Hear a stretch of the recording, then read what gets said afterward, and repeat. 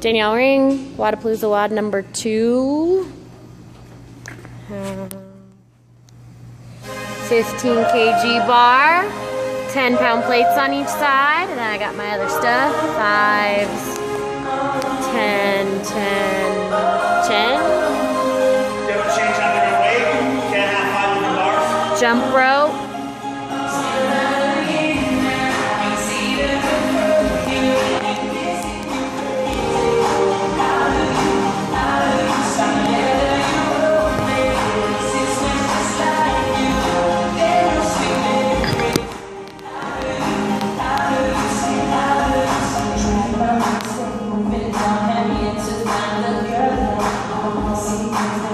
you for.